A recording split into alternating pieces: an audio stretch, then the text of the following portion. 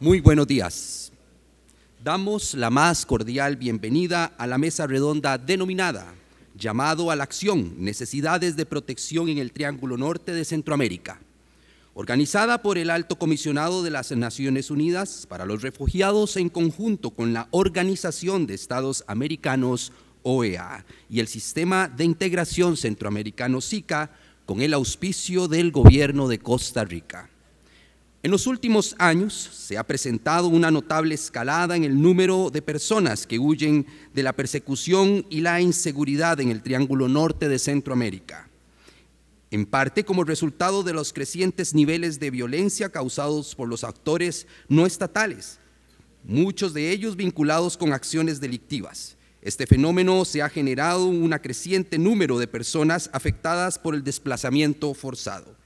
La mesa redonda que hoy se inaugura pretende a través de la discusión entre los actores involucrados en la atención de la crisis en la región, promover la identificación conjunta y posterior aplicación de las respuestas regionales que atienden los vacíos de protección existentes y las respuestas necesarias para abordar la crisis en los países de tránsito y de asilo durante estos dos días de trabajo se discutirán las principales preocupaciones de los países de la región, de las organizaciones internacionales y de las organizaciones de la sociedad civil que atienden esta problemática para tratar de identificar vías de atención conjunta. Para dar inicio agradecemos ponerse en pie para escuchar las notas del himno nacional de Costa Rica.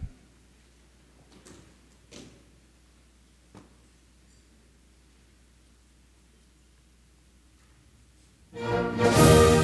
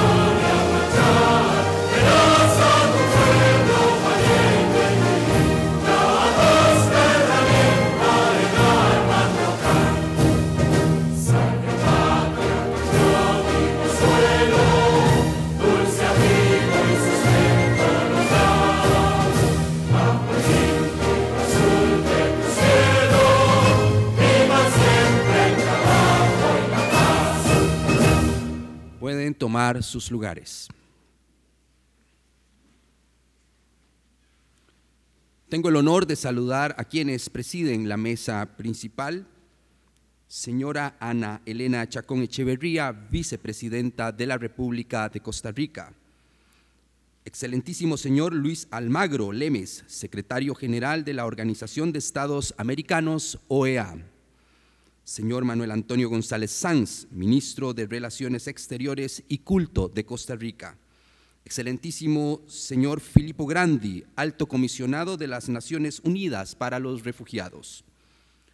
Saludamos a los, a los, excelentísimos señoras y señores ministros y viceministros de México, Guatemala, El Salvador, Honduras, Belice y Panamá, a los excelentísimos señoras, señores y señoras embajadores y honorables jefes de misión y honorables representantes de organismos internacionales acreditados ante el gobierno de Costa Rica, Guatemala, El Salvador, Honduras, Panamá, y a los representantes regionales, así también a la honorable señora Ann Richard, secretaria adjunta del Estado para la Población, Refugio y Migración de los Estados Unidos de América al honorable cuerpo diplomático acreditado en Costa Rica, Saludamos también a la señora Carmen María Muñoz Quesada, viceministra de Gobernación, señora, señora Ana Gabriel Zúñiga, viceministra de la Presidencia, jefes de instituciones de migración y extranjería de Costa Rica y de los países del Triángulo Norte y México,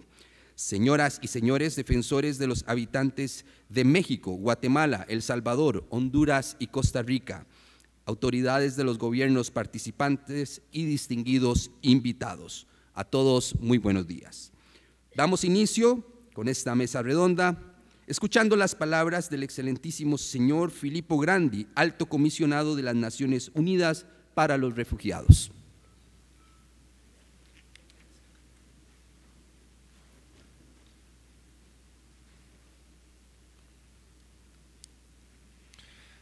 Señora vicepresidenta, señor ministro, señor secretario general, ministros, viceministros, señores y señoras, permítame en primer lugar expresarles mi gran placer por estar hoy en Costa Rica para participar en esta importante y muy oportuna mesa redonda.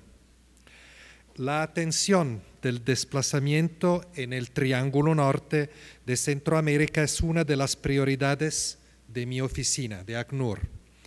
Su participación tan numerosa y al más alto nivel en esta mesa redonda demuestra su interés y compromiso y nos llena de optimismo de cara a conseguir encontrar conjuntamente respuestas de protección y de soluciones efectivas prácticas y novedosas.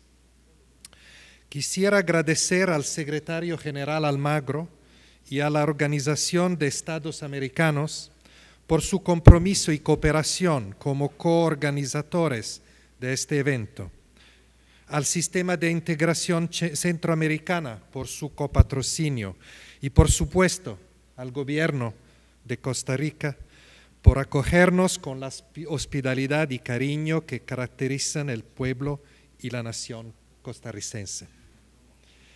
Esta región se caracteriza por su compromiso y liderazgo con las causas humanitarias y ha dado ejemplos concretos de respuestas de protección y soluciones innovadoras y creativas que mi oficina y mis predecesores han valorado y que seguimos valorando porque nos demuestran que cuando trabajamos juntos, bajo marcos de cooperación, de solidaridad regional y de responsabilidad compartida, la comunidad internacional es capaz de encontrar soluciones para las personas desplazadas, solicitantes de asilo, refugiadas, retornadas y apátridas. Lo que más admiro y valoro de la región es su capacidad de diálogo, compromiso y acción.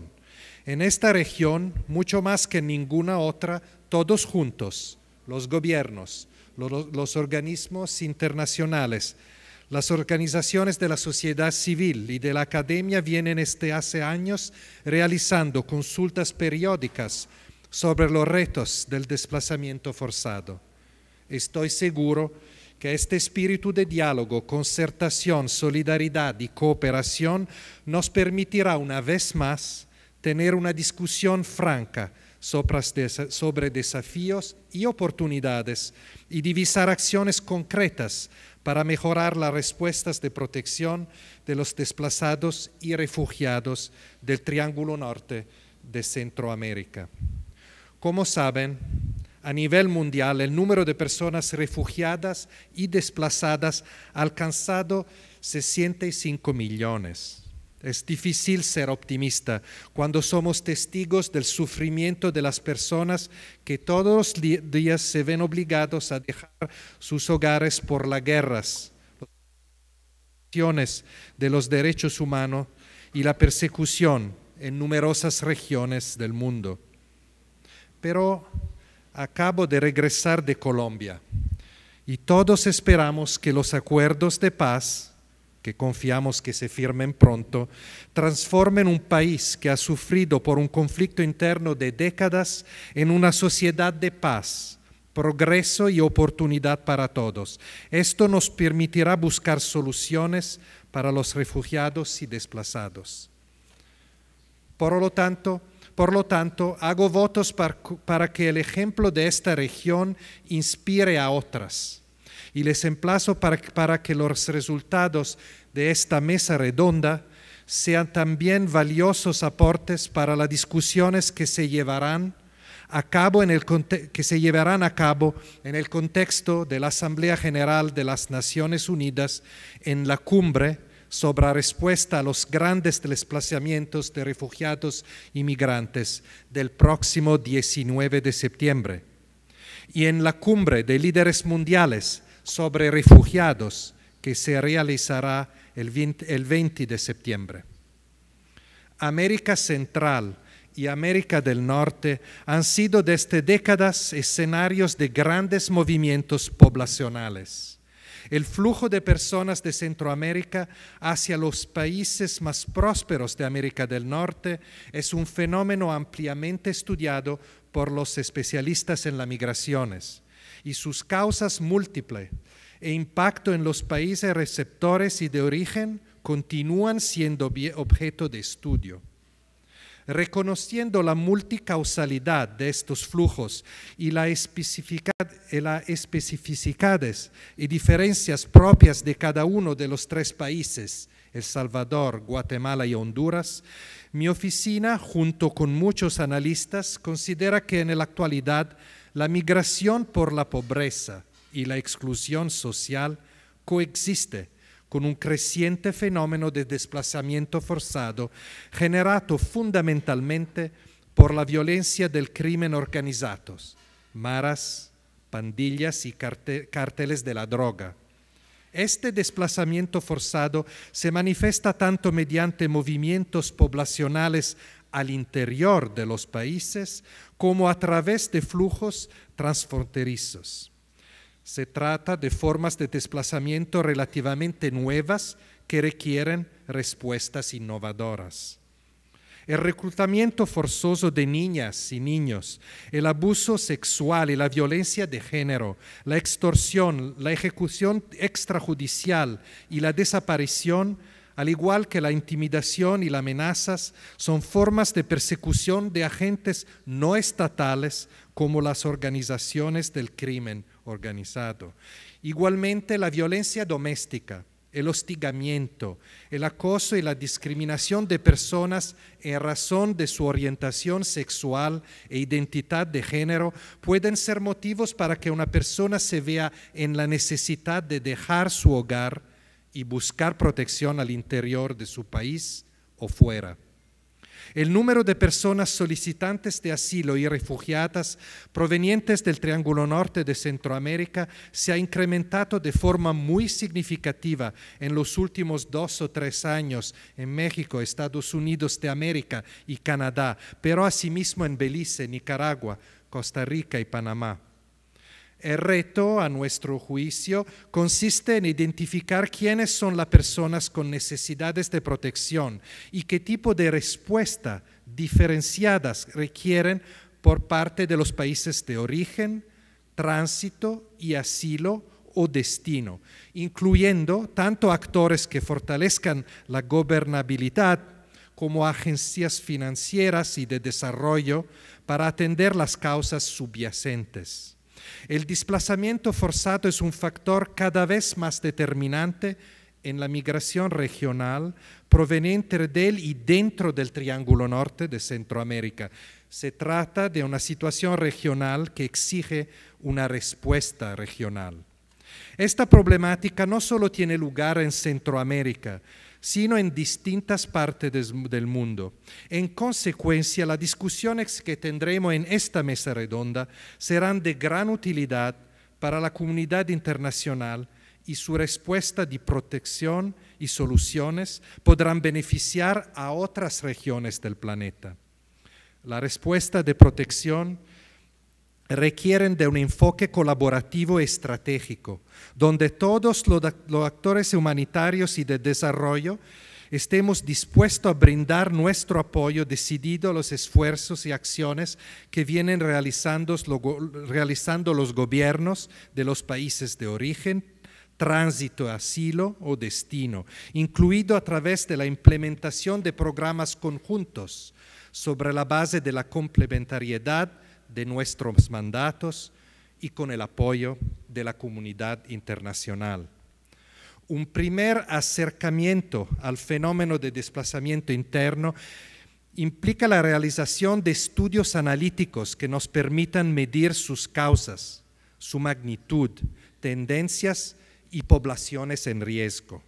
A este respecto, confiamos que la creación del Observatorio sobre Derechos Humanos dentro del marco de cooperación del SICA y el ACNUR como recomendado por todos los países de la región en el Plan de Acción de Brasil, nos permita avanzar en una mejor comprensión del fenómeno, así como contribuir al diseño e implementación de políticas públicas en materia de desplazamiento forzado con el apoyo de las organizaciones de la sociedad civil y de la academia. Como parte del apoyo a los países de origen, esperamos identificar conjuntamente las respuestas para prevenir y mitigar el desplazamiento forzado, la provisión de ayuda humanitaria, el fortalecimiento de los mecanismos nacionales de protección, el involucramiento de las, agencias de desarrollo busca propiciar el acceso efectivos, efectivo a servicios de salud, educación, vivienda y medios de vida para facilitar el arraigo, promover una efectiva reintegración y evitar la repetición del ciclo de desplazamiento. En el caso de los países de tránsito y asilo, buscamos asegurar el respeto irrestricto al principio de no devolución y el acceso al territorio y a los procedimientos de determinación de la condición de refugiado para lo cual resulta vital contar con mecanismos efectivos de recepción y la implementación de estrategias integrales de soluciones que incluyan la integración local, el uso estratégico del reasentamiento y otros mecanismos humanitarios de admisión al territorio. En todas estas materias existen muy buenas prácticas en las Américas. Las Américas es una región que se ha caracterizado por brindar protección y solidaridad a sus propios refugiados y a muchos miles de refugiados procedentes de distintas partes del mundo. Los programas de reasentamiento en Estados Unidos de América y Canadá y más recientemente en países de Sudamérica, al igual que las estrategias integrales de soluciones duraderas, como las desarrolladas en Costa Rica con el involucramiento de instituciones públicas y el sector privado a través de programas de responsabilidad social empresarial, constituyen importantes ejemplos de innovación para la búsqueda de soluciones duraderas para los refugiados en la búsqueda de respuestas y soluciones para personas desplazadas internas, solicitantes de asilo y refugiadas y retornadas con necesidades de protección, todos los actores aquí representados podemos brindar nuestro apoyo y tenemos un rol que jugar. El sistema universal de protección ha de ser complementado y fortalecido por la acción del sistema regional de la OEA y sus órganos de protección de derechos humanos, la Corte Interamericana y la Comisión Interamericana de Derechos Humanos. Todos, el SICA y la Conferencia Regional sobre Migración, las distintas agencias del Sistema de Naciones Unidas, la OIM, el CICR, las agencias de desarrollo como el Banco Mundial y el Banco Interamericano de Desarrollo, los organismos nacionales de promoción y protección de derechos humanos, la sociedad civil y la academia y la comunidad internacional en general, podemos y debemos unirnos en apoyo a los gobiernos de los países afectados y asegurar que cada vez menos niñas, niños y adolescentes, mujeres y otras personas riesgo se vean obligados a desplazarse porque sus derechos más básicos, como la vida, la integridad física, la libertad y la dignidad de la persona son violados por agentes no estatales y también para que los gobiernos de los países de origen refuercen sus propios mecanismos nacionales de protección. Una de las principales contribuciones que esta mesa redonda puede hacer a nivel global y regional es discutir los alcances y, contenidos de un mecanismo regional de responsabilidad compartida donde estén claramente identificadas la respuesta y las soluciones a ser implementadas en los países de origen, países de tránsitos y países de asilo o destino. Para su ejecución y para lograr movilizar a la comunidad internacional con su fundamental apoyo, con recursos técnicos y, financieros, confirmo la disponibilidad de mi oficina, de ACNUR, para conseguir en colaboración con los organismos internacionales aquí presentes y otros, asegurar resultados claros en el corto plazo para las personas necesitadas de asistencia y protección, incluido a través de un mecanismo de seguimiento para facilitar el desarrollo de programas, proyectos y una coordinación fluida entre todos los actores en síntesis para asegurar que las respuestas sean más predecibles y equitativas en la región. Le deseo el mayor de los éxitos en sus, deliberaciones. Les confirmo mis grandes expectativas sobre los resultados de esta mesa redonda y le reitero mi agradecimiento por su apoyo y liderazgo regional y global en la búsqueda de respuestas creativas para los crecientes retos en materia de protección internacional.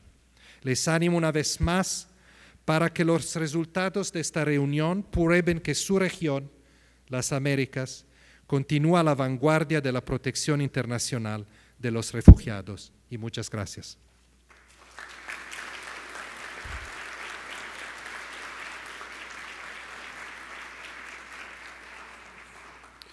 Muchas gracias al señor Filippo Grandi, alto comisionado de las Naciones Unidas para los Refugiados. Seguidamente vamos a escuchar las palabras del excelentísimo señor Luis Almagro, secretario general de la Organización de Estados Americanos, OEA.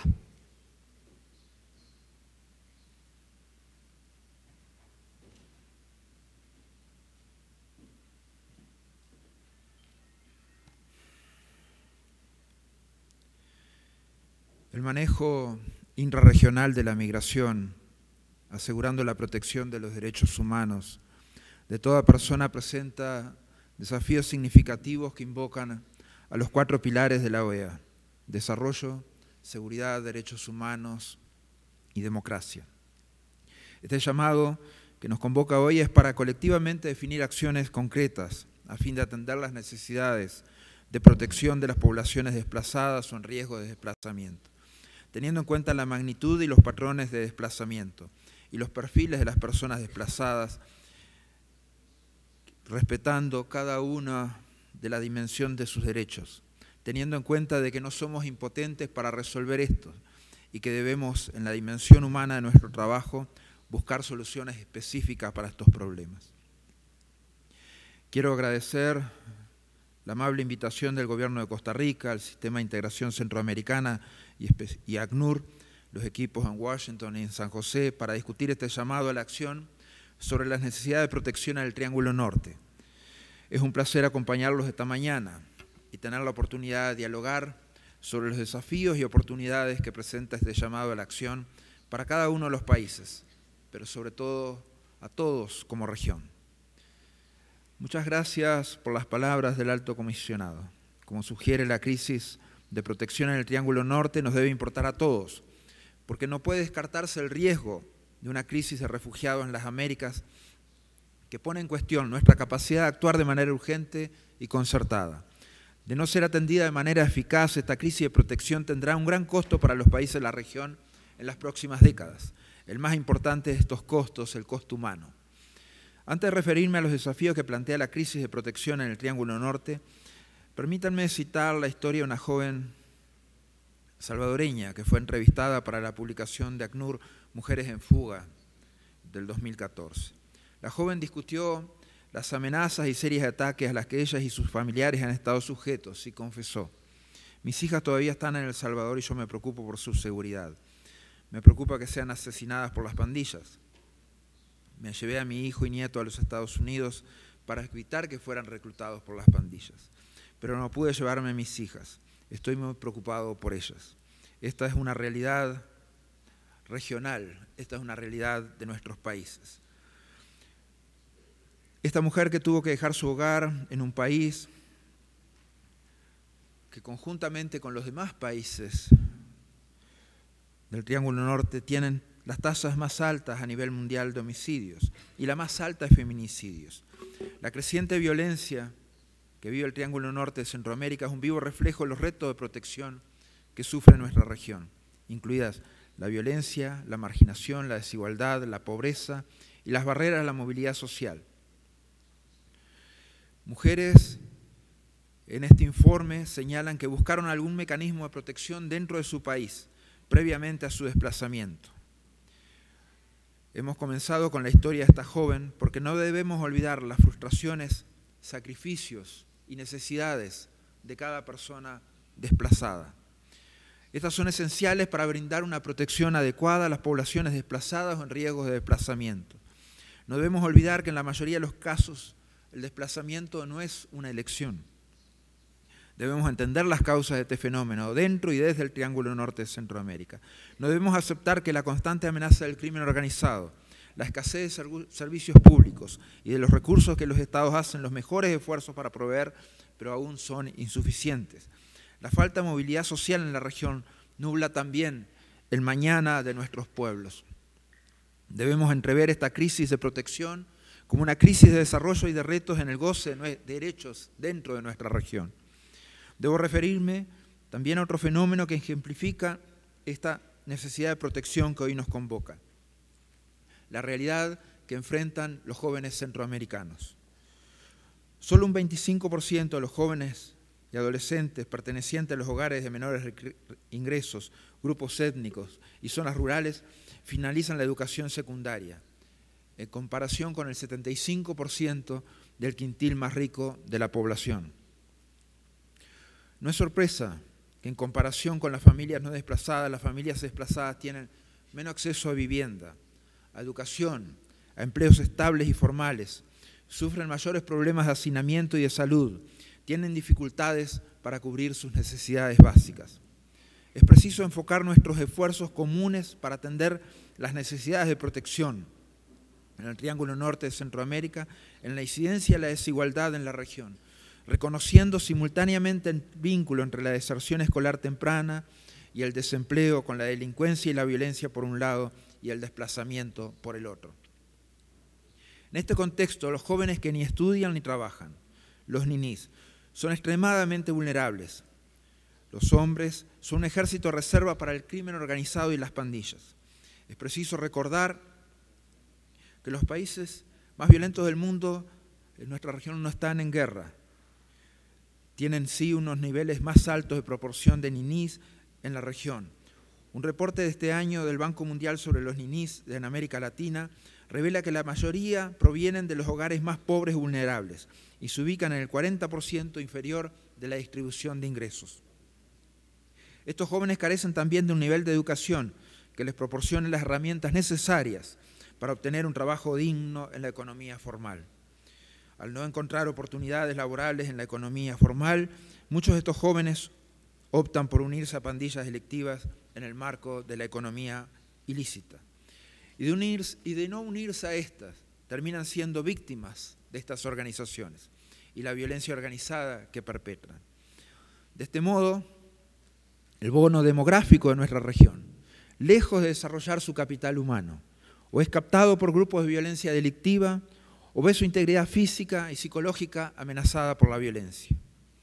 En su origen, los migrantes, los refugiados, las personas desplazadas del Triángulo Norte de Centroamérica son el rostro humano de las carencias que tenemos en materia de desarrollo e inclusión social en nuestra región, pero sobre todo son el rostro humano de las consecuencias del carácter transnacional de la violencia en la región.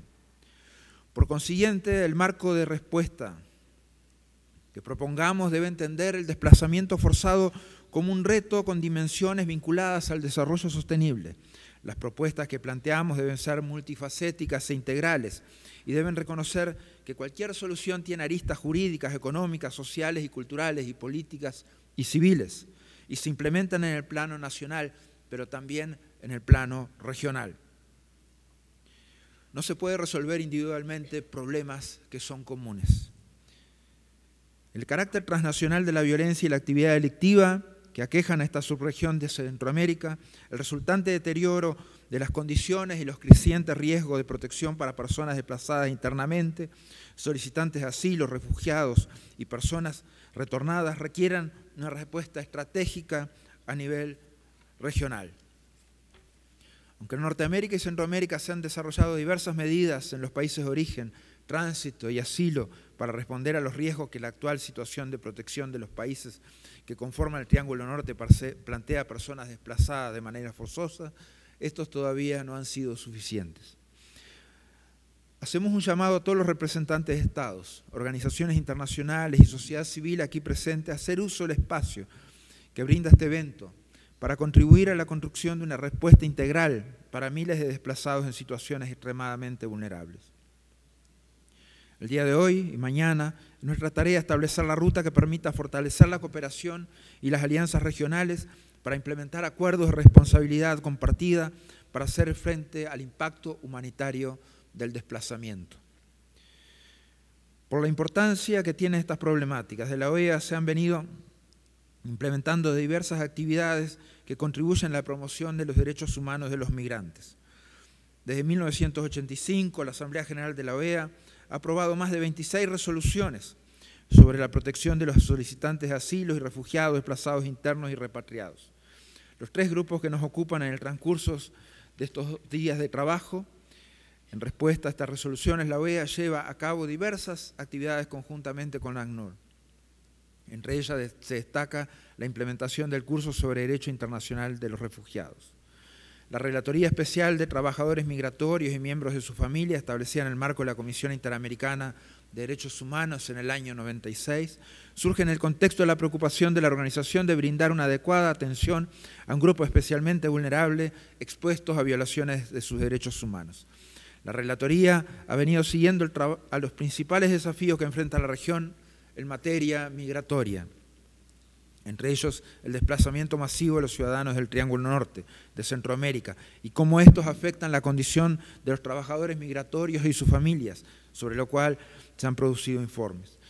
En 2005, la Asamblea General de la OEA adopta el Programa Interamericano para la Promoción y Protección de los Derechos Humanos de los Migrantes, incluyendo los trabajadores migrantes y sus familias, para desarrollar acciones de cooperación y mejores prácticas, integrarlas con las labores de los órganos, organismos y entidades de la OEA y vincularlos con los avances en los Estados miembros, organizaciones multilaterales y de la sociedad civil.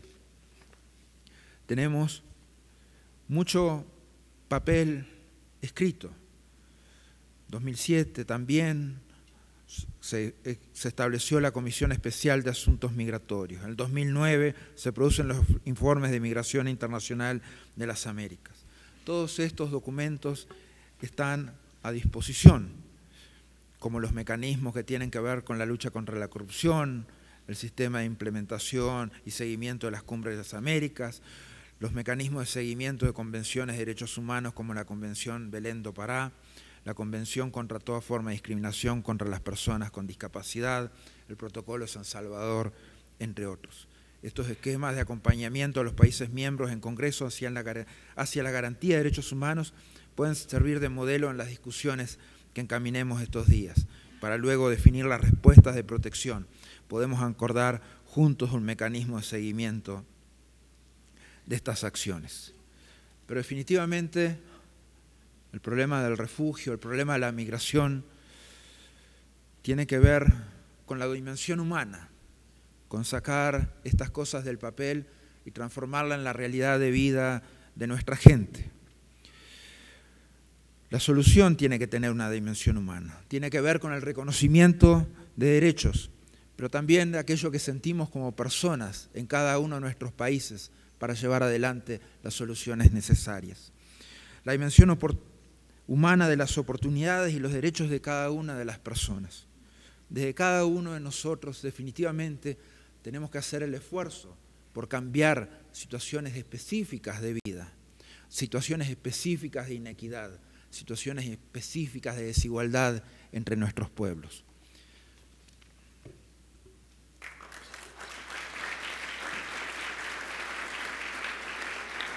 Muchas gracias por sus palabras, señor Luis Almagro, secretario general de la Organización de Estados Americanos, OEA.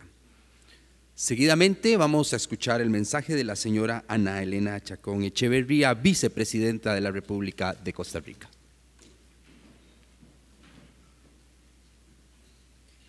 Muy buenos días tengan todas y todos. Excelentísimo señor Luis Almagro secretario general de la Organización de Estados Americanos, señor Manuel González Sanz, ministro de Relaciones Exteriores y Culto de Costa Rica, excelentísimo señor Filippo Grandi, alto comisionado de las Naciones Unidas para los Refugiados, excelentísimas señoras ministros, viceministros nacionales e internacionales que nos honran hoy con su presencia, un saludo muy caluroso al honorable cuerpo diplomático acreditado en Costa Rica y en los países de la región, jefes de instituciones de migración y extranjería, señora viceministra de Gobernación, señoras y señores defensores de los habitantes, altas autoridades de los ilustrados gobiernos participantes, señora Elizabeth Odio Benito, ex vicepresidenta y jueza de la Corte Interamericana de Derechos Humanos.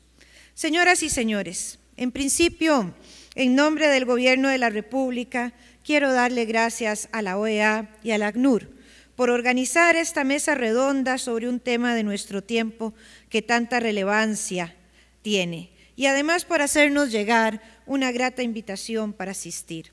Aunque el tema que nos convoca no es así, no es grato, es más bien sensible, es para la reflexión, la conciencia y sin duda para la acción concreta. Y digo que el tema no nos alegra porque jamás puede ser feliz verse en la obligación de abandonar el país en que hemos hecho nuestra vida, los esfuerzos, en donde están nuestras raíces, nuestros recuerdos. Y leía el otro día un libro que decía de una migrante y dejé atrás hasta mis muertos. En muchos casos también hemos tenido que dejar las familias, como la historia que nos contaba el secretario general. En el caso del Triángulo del Norte, hablamos particularmente de una crisis humanitaria porque la gente se ve obligada a huir de la violencia que se enfrenta. Los datos que nos da el ACNUR nos lo ratifican. Las personas huyen de la violencia, el peligro, la muerte, y se prevé que la situación, lejos de acabar, empeore. De tal forma, los desplazamientos obedecen esencialmente a una enorme violencia, además de la pobreza, además de las diferencias de género, y esto provoca una mayor migración en países hermanos como El Salvador, Guatemala, Honduras, es decir, el Triángulo Norte de Centroamérica. Y de nuevo, siguiendo la información que brinda ACNUR, el número de personas que huyen de esta violencia en nuestra región aumenta cada vez más por eso nos surgen acciones concretas, con el fin de que los niños y las niñas no acompañados y otras personas en situación de vulnerabilidad reciban la protección de los estados. Tenemos la obligación de brindarles porque además esa protección es un derecho humano de todas las personas por el hecho de ser seres humanos. El tema es tan sensible y la situación tan urgente porque los números alarman y no mienten. Veamos algunos. En el año 2015, el número de personas refugiadas y solicitantes de asilo de estos países fue de 109.800, la mayoría con destino a México y a los Estados Unidos. Y eso corresponde a un aumento de cinco veces más en tres años. En Costa Rica, por ejemplo, durante el mismo año registramos 2.203 solicitudes de asilo, lo que es un aumento de un 176% respecto al año 2013 y un 16% al año 2014. Actualmente acogemos 3.616 personas refugiadas y el año pasado tuvimos solicitudes de alrededor de 2.203 solicitudes de asilo. Con estos datos yo podría seguir, sin embargo, he dado solo algunos a fin de ilustrar la enorme responsabilidad y labor que tenemos por delante. No es menuda cosa, no es un tema cosmético. Hablamos de vidas en un mundo globalizado en la tecnología, la economía, la política y la doctrina de los derechos humanos, pero donde también se globalizó la violencia y el conflicto armado. Tal como lo afirmé recientemente en un foro en donde el ACNUR me hizo el honor de reconocer el trabajo que hacemos con personas refugiadas en condición de pobreza, dije, existir no puede ser ilegal y emigrar no es un delito. Pero vivimos en una época difícil y dramática para millones de seres humanos alrededor del mundo, quienes además de haber tenido que abandonar sus países, han sido forzados a vivir inestabilidad, miedo, realidades nefastas e historias devastadoras y pese a ello jamás han dejado de soñar con un mundo mejor para ellos y sus familias, en donde pongo en particular lugar a las mujeres. Si para las mujeres vivir en democracia todavía significa vivir en desigualdad, ¿qué tal las mujeres que viven en un mundo de violencia? Por eso no podemos perder de vista, por donde sea que se mire, que el desarraigo obligatorio es cruel repudiable e inhumano. Y por ello son muchos los retos que tenemos en los países para enfrentar con éxito este flagelo. Claramente son los estados, en la figura de sus gobiernos, quienes estamos llamados a brindar apoyos, las oportunidades necesarias para que puedan comenzar de nuevo, continuar sus sueños de una mejor calidad de vida, una vida sin violencia que nos merecemos todos los seres humanos. Con esta mesa de trabajo, Sé que nuestro objetivo, y por eso lo celebro, es importante y auguro un intercambio valioso, un intercambio exitoso, pero sobre todo acuerdos. Por eso desde la visión de los derechos humanos hay que ver esto como un ejercicio introspectivo de alteridad. Instamos a los diferentes países hoy presentes a mejorar la cooperación regional con el fin de lograr acuerdos de responsabilidad compartida y hacer frente al impacto humanitario de estos desplazamientos, de manera que podamos dar respuestas eficaces a estas personas. Además, aspiramos a que se pueda fomentar la aplicación de respuestas regionales para atender la protección de poblaciones desplazadas o en riesgo de desplazamiento, sin perder de vista la magnitud de patrones del desplazamiento forzado, las cifras y los perfiles de estos seres humanos desplazados.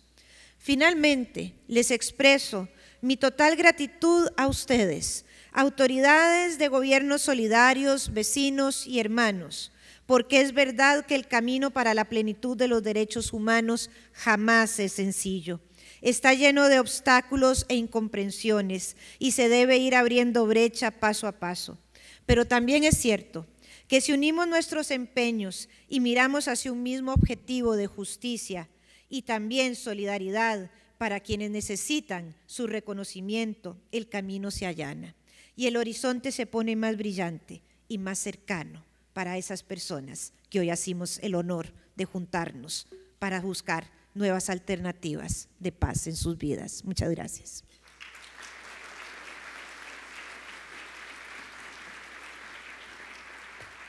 Agradecemos a la señora Ana Elena Chacón, vicepresidenta de la República, sus palabras. De esta manera, damos por concluido el acto inaugural de la mesa redonda llamado a la acción crisis de protección en el Triángulo Norte de Centroamérica. Seguidamente vamos a tomar unos minutos de receso para despedir a quienes presiden la mesa principal. Agradecemos permanecer en sus asientos para posteriormente retomar la agenda de esta mesa redonda. Asimismo, invitamos y agradecemos a los señores de la prensa que nos honraron con su presencia y su cobertura. Muchas gracias.